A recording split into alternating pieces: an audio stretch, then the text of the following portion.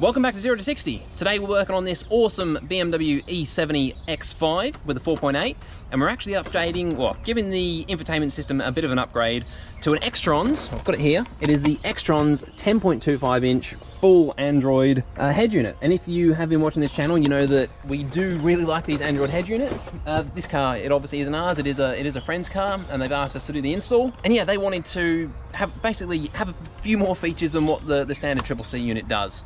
What is really good about these, well, these units is they integrate with the standard unit really well, so you don't lose any of the iDrive capabilities or any of the things you need for the car, but you still get access to the full Android and any any add-on, any well, anything you can imagine you want to do with your Android, you can still do with this system. This particular particular unit runs the Cortex A53 chip. Uh, it's got 2 gig of DDR3 RAM, which seems to be a pretty a pretty tried and tested setup for these Androids. It is running Android 10 as well, so it should have quite a nice user interface. It should look pretty good in the car.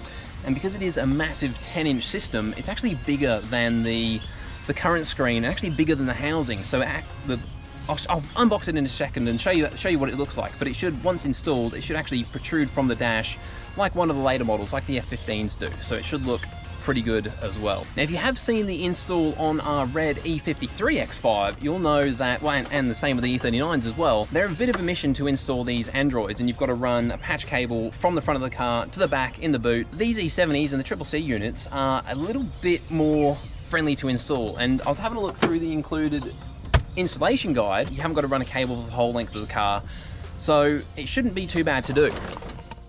Uh, basically, yeah, it does come with these sort of brochures, pamphlets, which this is a, it's a very basic installation guide, but I've never done anything on an E70 before, and well, this is why I was kind of excited to get stuck into it, because you haven't got to pull too much of the car apart. It looks like basically just, just everything through the middle of the dash, judging by these little pictures here. And, well yeah, to do that, you don't need very many tools. I've basically got a couple of trim removal tools and screwdrivers, and I'm hoping that's going to be enough. Everything else should be plug and play. That's designed to plug directly into the car's factory harness and um, yeah all this stuff is just like that's your GPS antenna you got a Wi-Fi antenna USB cables um, and so everything should just be plug and play the actual unit itself that's it there Ooh, that is a massive screen that is going to look brilliant when it's on there and ah that's okay so that's that's what I was talking about before that shape there is the original that's what houses the original screen up the front and yeah you can see this one is so much bigger it actually it, it just sticks right out. So that should look pretty cool once it's all installed. Yeah, there's not too much to it. The kit sort of gives you all the info you need to get started. The only thing that I thought was a little bit weird is this speaker here, which it looks like it's needed, so I will install it, but I'm not sure what it needs a, a, speaker for. But I'll move up the front, I'll try and put you guys somewhere so you can see what's going on, and we'll start pulling the dash apart. Okay, hopefully you can actually see what's going on from up there. That should be a pretty good angle, I hope. The only thing I didn't mention in the intro there is if you are looking at buying one of these units for an E70X5 or an E71X6, make sure you do read whatever listing you're buying it from properly because there are different versions between a triple C and a CIC. The other thing is that might not be so straightforward is the car these cars have a aux input in the center console down here and you will have to run a 3.5 mil cable, which they do supply, but you'll have to run it from this aux input in the glove box, probably under the dash, under the center console, and into the back of the unit. Alternatively, if you don't run the 3.5mm cable through the center console, you'll have to use something like an FM transmitter, which, I mean, it will do the job. All right, let's get into it.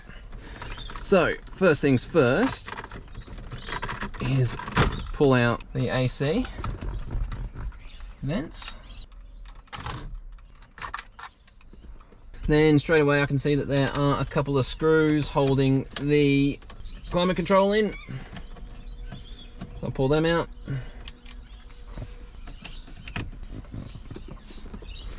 There's also some screws holding the screen in. And I could see on the new screen when I had that unboxed that it was, it was it looked like the only way it was actually screwed or bolted into the car was these metal tabs at the bottom. So I reckon it's just going to be these two holding the screen in.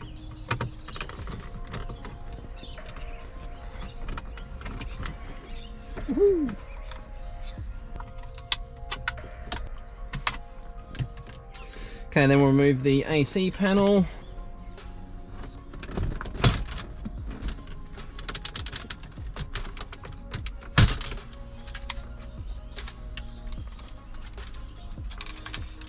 Unplug everything.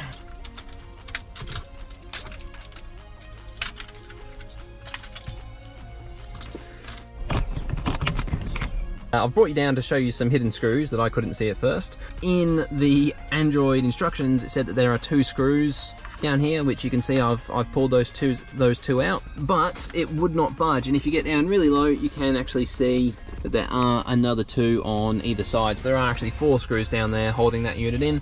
So I'll pull those other two out now and then hopefully be able to remove that entire unit. And at that point, we should then be able to unplug the car's factory harness and plug in the Android adapter and then, well, pretty soon after everything's plugged in, start putting it back together. So it's not been too bad at all.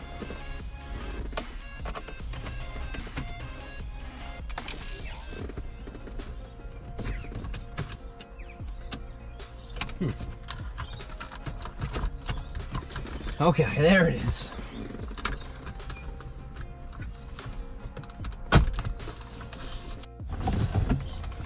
Okay, hopefully you can see the back of the unit from up there. So I'll pull all of these plugs out so that we've got a bit better access.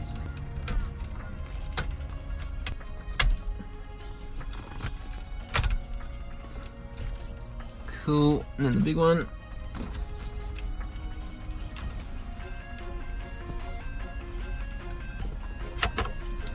Cool, she's out. Okay, I'll pull that out of the way. And this here is the car's factory harness.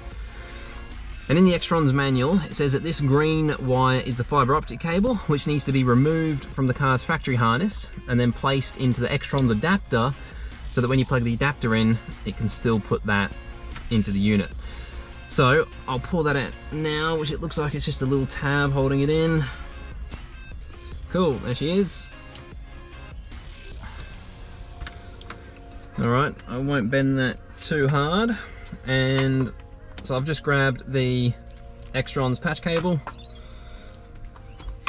And so I can see the provision for that there. So I'll get the patch cable plugged in.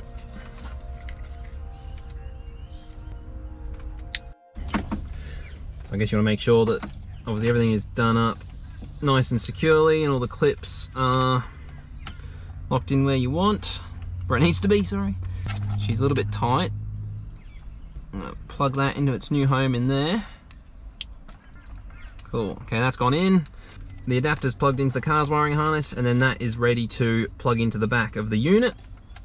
And down here will be Okay, so that is the main power cable that will run to the back of the Xtrons unit, which is over here, and we'll plug in there.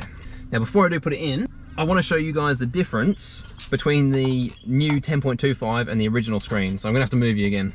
Okay.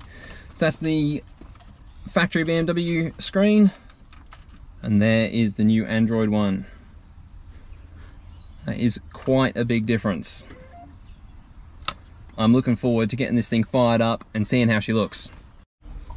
All right, so now comes the fun part of routing the wires. The first one I want to run is the power cable to get the new Android screen actually connected. And she's pretty busy in this dash, so I'm just going to try and find a path for the plug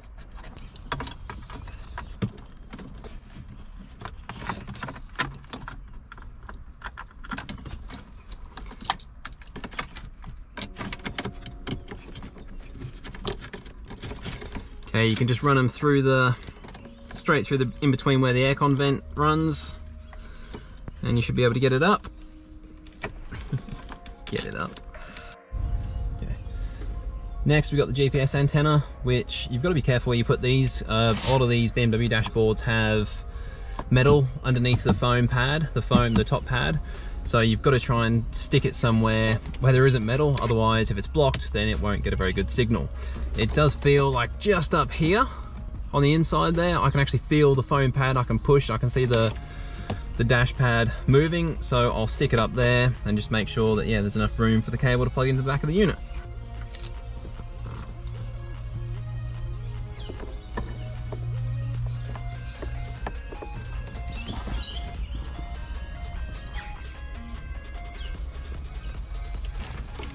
We'll tuck the long wires out of the way a little bit.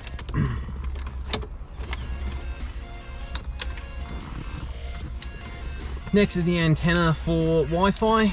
Obviously very handy with these units if you connect a hotspot to them from your phone. You then get access to the internet and you can watch Netflix. Well, not watch Netflix, but you can listen to uh, Audible and all those other cool things that you need an internet connection for. Okay, that area there feels like it should be pretty safe and won't actually interfere with anything.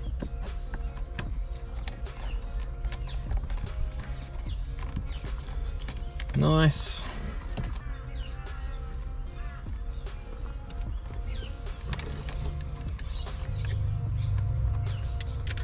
Next we've got these USB cables which I'll probably run them to the inside of the glove box, but it's an electronic glove box with a button to release, so I've got to, I'm gonna have to plug the, wherever that trim piece has gone, which I think it was the, the AC vents had the button to, to open the glove box, so I'll plug that back in and then just run them into the glove box. I don't know if Adrian's gonna need them, but well, it's useful. You can use it as a charger if you want, or um, he does have a young kid, so maybe if they wanted to play, you know, hook up, hook up a controller or something and play games on the Android, they they could do that with this. So I'll put it in there whilst whilst we're doing the install.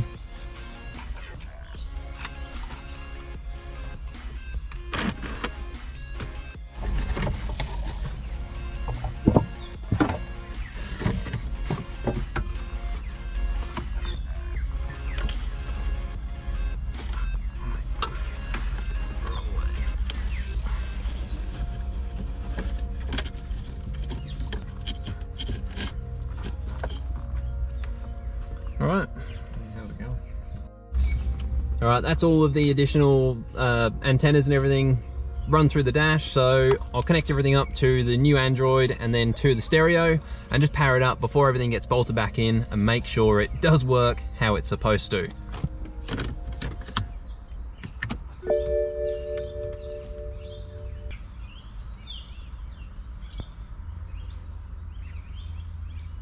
Ta-da! There she is.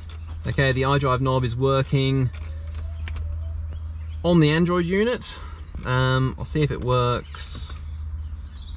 Well, actually, first thing I want to try, because um, I haven't, I haven't done anything with the aux cable yet. Ah. All right, that is brilliant. So the audio is working straight away. So I haven't had to plug into the aux that's in the glove box. It's just worked straight away. So that is, well, it saves another little, little job. So that's brilliant. It all looks pretty good.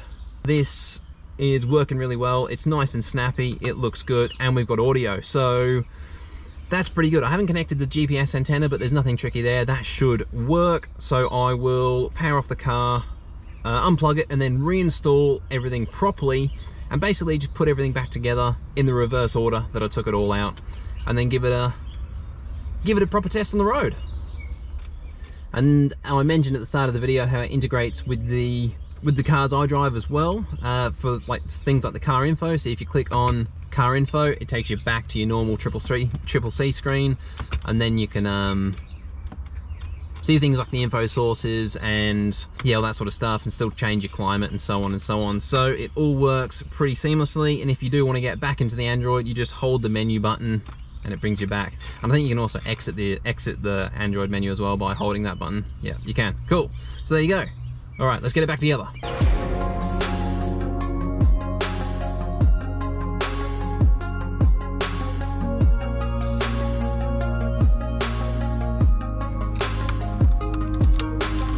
Boom.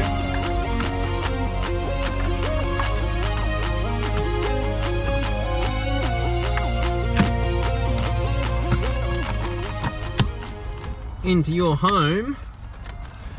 Now, that's the car all back together. Awesome. Now I'm to give it a proper test run. Okay, I'm in the car. I've got the engine running because, well, because the AC is nice, but because I have been playing around with the unit for a little while, there's a lot of settings on these things when you first power them up. So I've basically just been going through all the menus and getting it set up for this vehicle. One thing to note is don't get carried away and throw the box or the user manual away once you've got it installed because in the user manual there is a password to get into the factory settings of the Android and all the passwords, like we've got other Xtrons units and it is a different password on this unit to the other Xtrons we've got on other Androids. So make sure you keep that manual handy and that password handy that is it. It is all working. Um, I ended up picking this skin because it looks awesome and looks like a like a much newer vehicle. Now I reckon the absolute best way to use these Android Android units are just a hotspot from your phone, or if you if you've got like a, a Wi-Fi dongle that you can run a SIM card in and always have Wi-Fi in the vehicle. I have connected the phone already, so I've just turned hotspot on, and I'll see if it auto connects because if it does, that would be fantastic. It doesn't look like it's going to. Okay, Wi-Fi is off, but um, so it wasn't going to work. So Wi-Fi is on. See if she pops up. Okay, so once Wi-Fi was turned on, it did auto connect. That's awesome.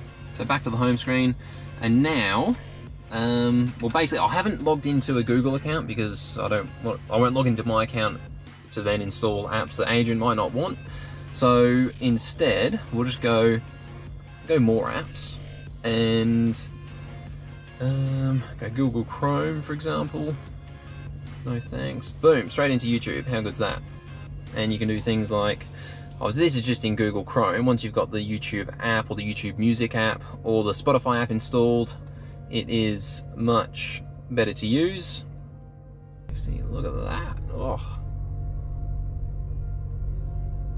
You can watch YouTube now straight away, straight out of the box, as soon as you plug it in, the steering wheel controls work. Volume and next track. So that's awesome to retain that function. And again, the you don't lose the ability to use your iDrive controller, even in the Android. And I have set it up so that the navigation, when you're on the Android, opens up Google Maps. Cool, and navigation starts working straight away. Alright, bit of a scenery change. I didn't realise, but the GoPro didn't, it stopped recording and it didn't catch the end of that video. Which, to be fair, the video's dragging on a bit anyway, so I'll wind it up really quickly. And look, to be fair, all that's left to do is now pretty much review that unit. If, if you start going through the menus, that'll be a whole nother video itself, which, if you do want to see that, then um, yeah, let us know and we can get the car back and go through that Android system properly and give it a bit of a review.